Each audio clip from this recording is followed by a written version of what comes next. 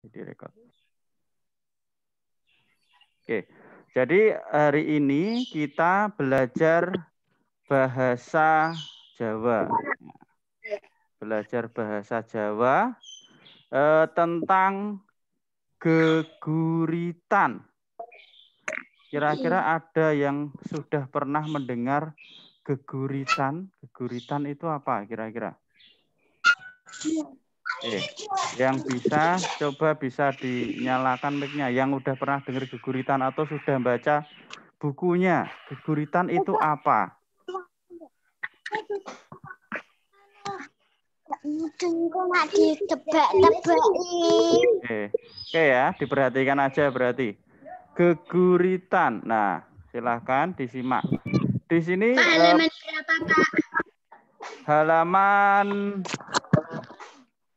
halaman awal ya di situ hafal ini Pak Widi kasih contoh dulu geguritan sama tentang geguritan. Halaman tiga. Halaman tiga ya sama ya itu geguritan. Tapi ini Pak Widi kasih geguritan yang eh, beda ya. Ini ada di halaman berikutnya. Oke. Judulnya adalah aku bocah Jowo. Coba didengarkan dulu ya Pak Widi tak membaca geguritan dulu Aku bocah Jawa. Aku rumangsa ora duwe apa-apa. Sing awujud bondo donya Raja Brana. Iku dudu takeran. Senajan mengkono bab budaya lan unggah-ungguh tetep tak ugemi. Tak sunggi nganti lumebu bumi. Ya. Kira-kira eh, Pak Widi ini membaca apa? Geguritan. Ya. Geguritan itu eh, sama dengan puisi. ya. Jadi eh, geguritan itu sama dengan puisi. Lah bahasa Jawanya puisi itu geguritan. Oke, nah jadi ini ya. Geguritan utawa guritan ing basa Indonesia diarani puisi ya. Jadi guritan itu dalam bahasa Indonesianya disebut dengan puisi. Geguritan yaiku salah sijine karangan sastra Jawa sing dikarang kanthi nengenake kaendahan lan migunakake tembung kias. Jadi geguritan itu adalah salah satu uh, sastra Jawa ya, kayak puisi. Kalau puisi kan sastra Indonesia berarti karena kita uh, sebagai orang Jawa ya, kita harus mengenal sastra Jawa. Sing dikarang kanti nengenake keindahan. Jadi yang dikarang dengan memper, uh, memperhatikan keindahan itu keindahan lan migunakake tembung kias. Jadi menggunakan kata-kata kiasan ya sama kayak puisi supaya uh, lebih indah ya pada saat membaca. Kanggo mangerteni isine geguritan, luwih dhisik kudu ngerti tegese tetembungan ing geguritan. Jadi supaya tahu isi dari geguritan itu, nah kita terlebih dahulu harus tahu arti dari setiap kata pada geguritan. Artinya apa setiap kata itu ya. Kalau tidak tahu e, arti katanya tentunya kita tidak bisa. Nah, isi dari geguritan itu apa ya? Ya, seperti itu. Nah, e, maka langkah pertama kita harus e, negesi tembung. Negesi tembung itu adalah mengartikan kata-kata yang mungkin kita belum tahu ya. Ini Pak Budi kasih beberapa contoh. Misalnya, bocah. Bocah itu tegese atau artinya anak. Ya, anak kecil biasanya itu kalau dalam bahasa Jawa disebut bocah. Kemudian bondo dunyo. Bondo dunyo itu artinya adalah harta benda ya, tegese harta benda. Kemudian tadi ada kata takeran. Takeran ini tegese ukuran. Kemudian ada kata rojo brono. Rojo brono itu artinya harta yang banyak nilainya. Nah ini ya, sampai negesi tembung dulu. Nah coba Nah, sekarang anak-anak bisa dilihat di sini ya, geguritan ini kira-kira yang tidak tahu artinya apa. Atau Pak Widi artikan dulu semuanya dari awal sampai akhir atau sudah tahu semua? Bisa sama sama nanti buat nanti waktu ya. Coba diperhatikan.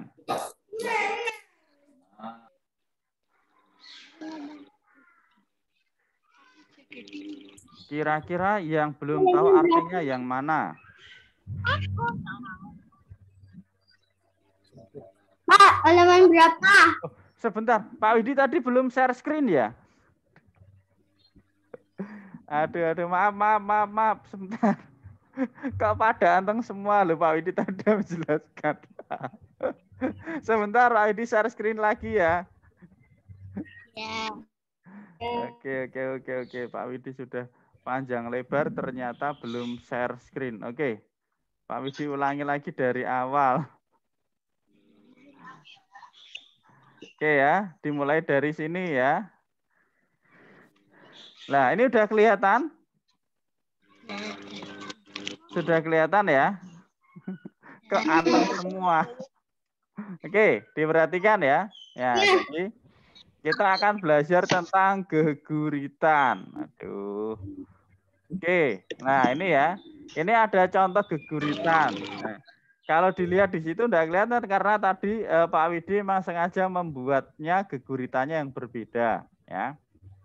Nah ini aku bocah Jowo. Nah, Pak Widi ulangi lagi bacanya ya. Aku bocah Jowo. Aku rumongso ora duwe opo-opo. Sing awujud bondo donya Raja Brono iku dudu takeran. Sanajan mengkono bab budaya lan unggah-ungguh tetep tak ugemi. Tak sunggi nganti lumebu bumi. Oke, coba Pak Widi mau mendengarkan suaranya Mas Nara. Halo Mas Nara.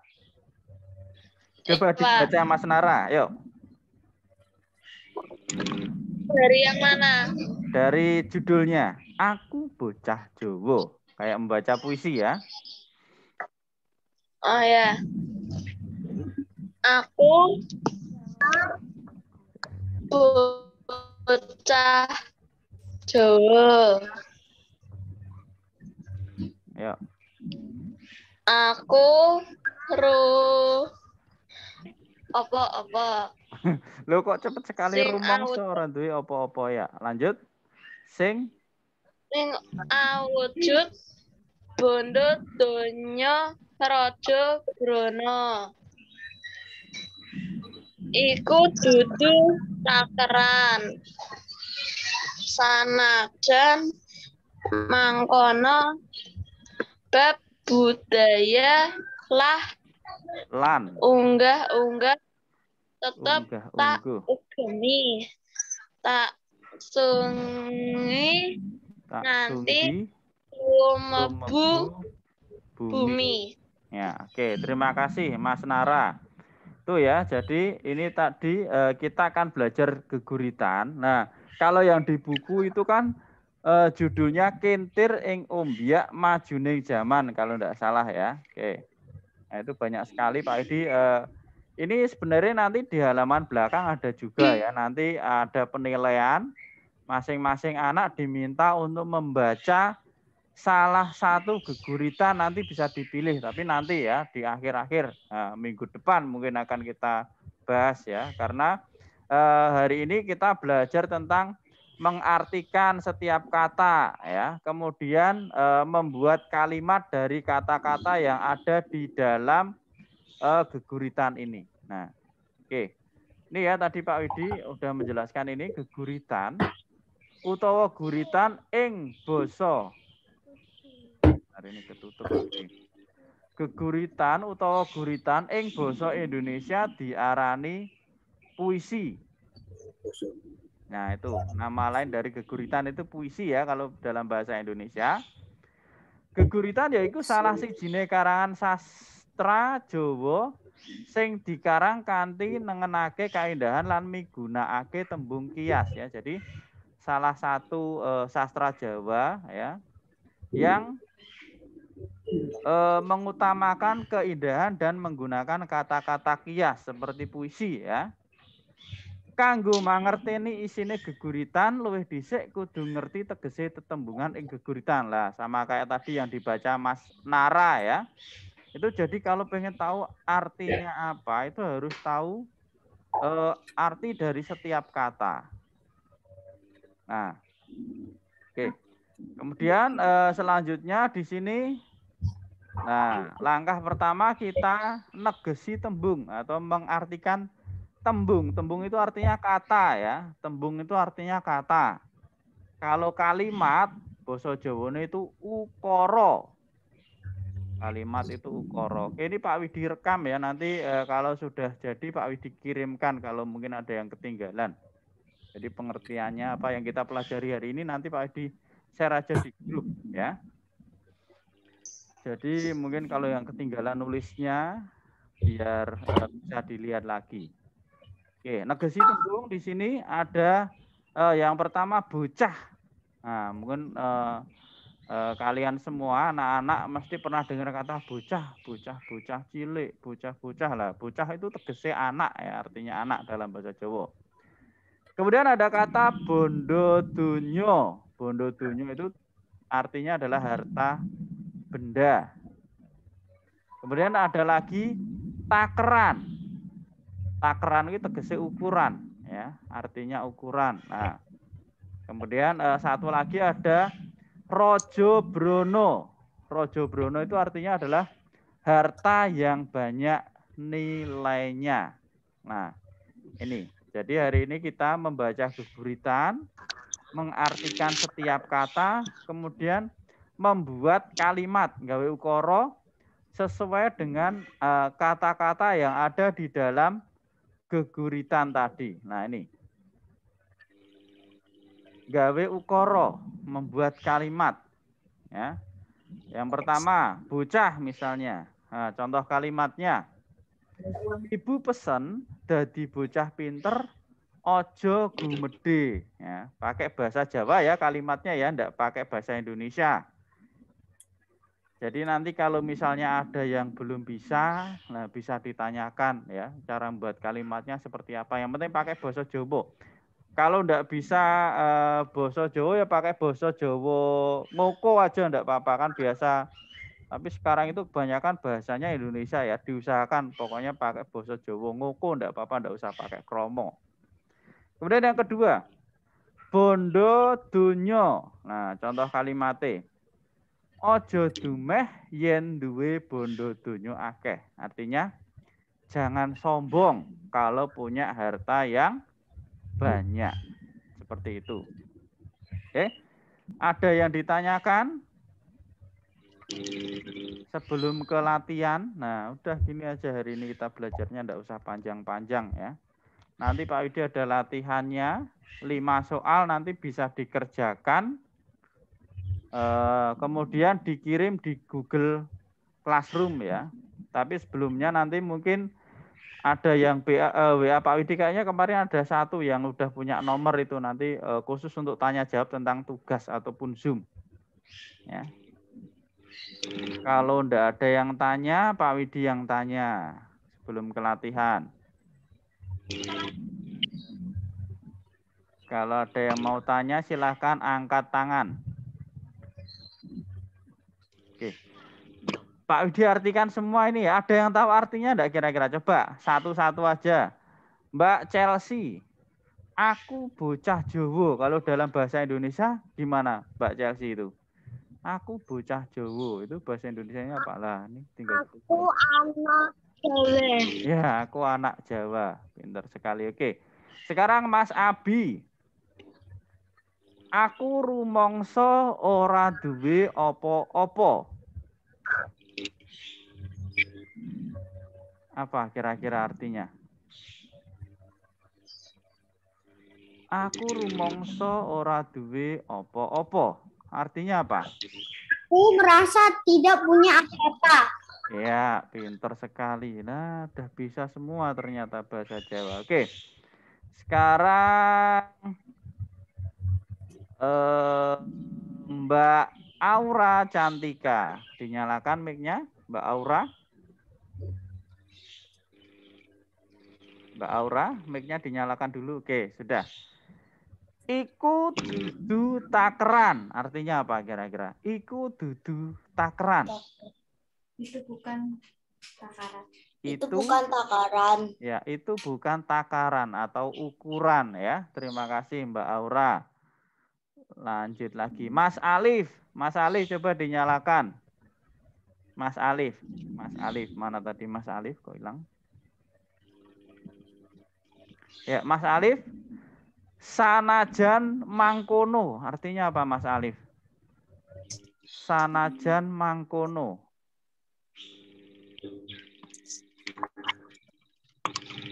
Sanajan mangkono. Artinya apa? Mas- Iya Mas Alif. Sengaja di sengaja di situ. Nah, boleh ya. Walaupun begitu ya, bukan sengaja. Walaupun begitu, walaupun demikian, gitu ya Mas Alif ya. Kalau sengaja begitu, eh, oke, betul. Tapi eh, lebih tepatnya walaupun begitu. Oke, terima kasih Mas Alif. Sekarang ini, Mbak Askia. Mbak Askia coba dinyalakan kameranya. Oke. Ya, Mbak Askia. tingkah laku perlu diperhatikan.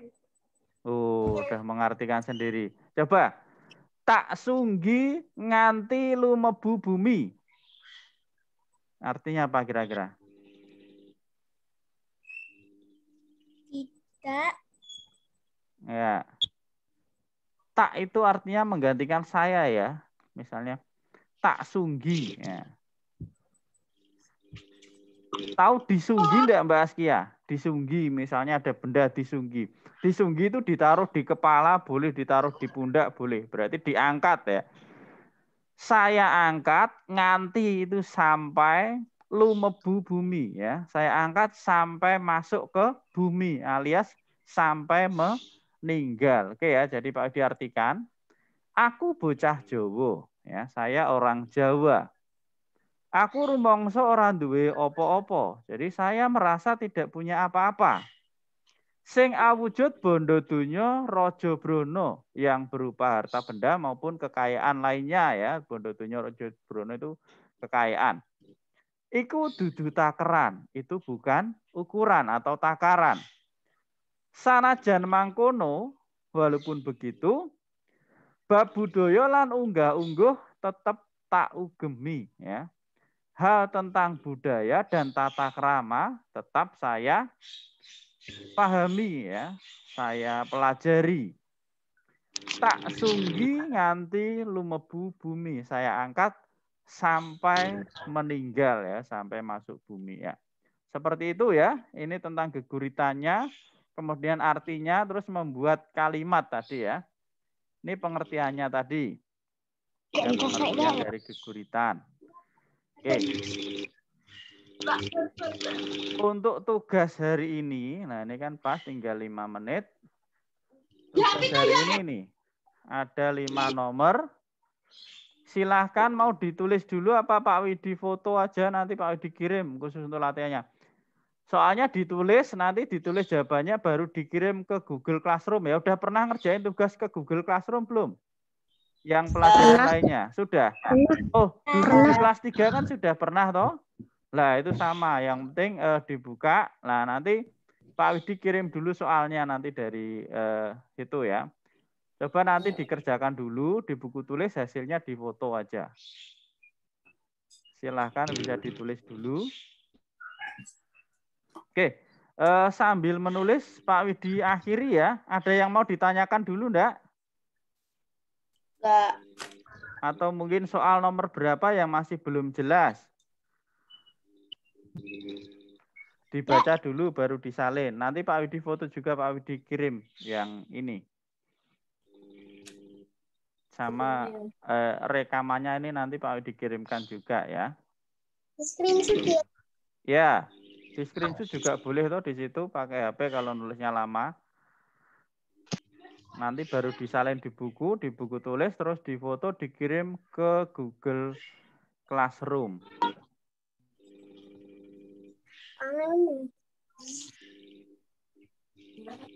Gimana bisa screenshot? Nanti tugasnya Pak Widi kirimkan ke itu Google Classroom ya. screenshot.